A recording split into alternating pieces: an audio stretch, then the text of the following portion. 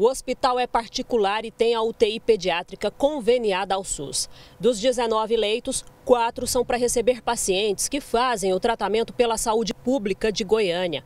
Pelo SUS, o Igope atende cerca de 30 crianças por mês só na UTI. O problema é que desde abril eles não são pagos pelos serviços prestados.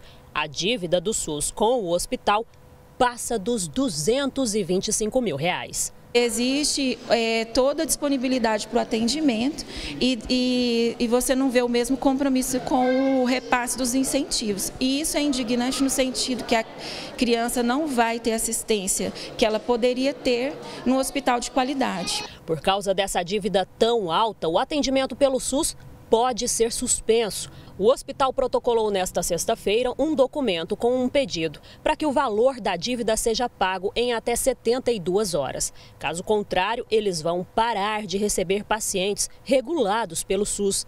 Se isso acontecer, vai ser enorme o prejuízo para as crianças que precisam de um tratamento médico de urgência. Uma vaga que a gente não tem já é um, uma vida que pode não ser é, salva, que pode não, não, não sobreviver.